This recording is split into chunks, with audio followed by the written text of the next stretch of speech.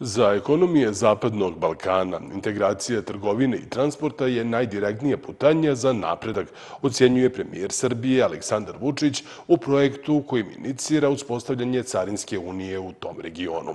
Riječ je o papiru, kako ga je nazvao premijer, tačnije njegovoj inicijativi za Zapadni Balkan, sa kojom je upoznao austrijskog kancelara Kristijana Kerna, a sa premijerima Bosne i Hercegovine i Albanije, Denisom Zvizdićem i Edijem Ramom, za sad obavio prve konsultacije. Stvaranje Carinske unije u regionu inicijativa je koji je pokrenuo premijer Srbije Aleksandar Vučić značajno bi povećala izvoz svake zemlje pojedinačno, uveren je i podpredsjednik vlade i ministar trgovine Rasim Ljajić. Ljajić je tim povodom rekao da je najvažnije da postoji politička volja za formiranje Carinske unije i da bi trebalo da zemlje regiona povećuju saradnju u okviru Centralno-Evropskog ugovora o slobodnoj trgovini. Mi se odavno zalažemo za jedan veći stepen e,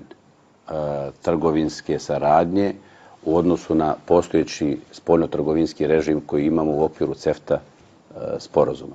CEFTA sporozum doneo je mnoge koristi podinačno svakoj zemlji, naravno Srbiji verovatno i najviše s obzirom da je najveća ekonomija u regionu i da je spoljno-trgovinska razmena u okviru e, CEFTE za 10 godina povećana sa 2,5 na 3,5 milijarde evra i da je svaka zemlja pojedinačno povećala svoj izvoz u prosjeku za neki 75%. Po njegovim riječima, u regionu postoje još brojne vancarinske barijere koje otežavaju slobodan protok robe iz jedne u drugu državu i da sve te države pribegavaju pojedinim protekcionističkim mjerama. I zato mi smatramo da treba ići u korak tom problemu, ići u jedan veći e, stepen e, spoljnotrgovinskog režima među članicama CEFTA e, sporozuma. To je ta ideja o Carinskoj uniji. Umeđu vremenu treba da napravimo jedan međukorak, a to je da e, implementiramo ono što je dogovoreno tokom prošle godine, dakle, taj protokol 5 o olakšavanju trgovine, da izbegnemo te vancarinske barijere, da sprečimo da roba danima čeka za prolaz iz jedne u drugu e, zemlju, da ujednačimo e, rad carinskih službi u jednoj i drugoj zemlji, dakle radno vreme, da omogućimo priznavanje dokumenta i sertifikata, da jedan dokument izdat u jednoj zemlji važi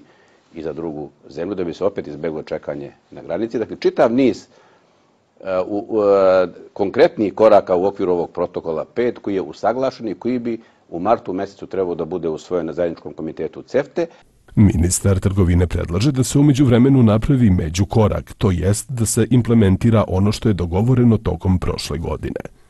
Carinska unija je ekonomski prostor u kojem se države članice obavezuju sporazumom na ukidanje međusobnih carinjenja ili sličnih nameta i kvantitativnih ograničenja za promet robe, kao i na uvođenje i primjenu zajedničke carinske tarife prema trećim zemljama.